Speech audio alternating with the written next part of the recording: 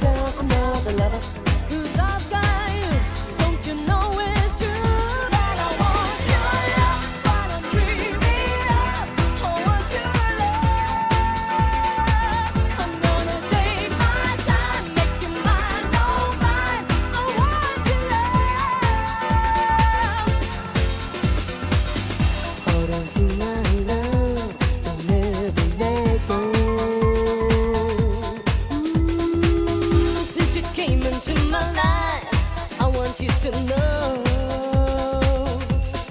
that this love for you is gonna be forever, right here.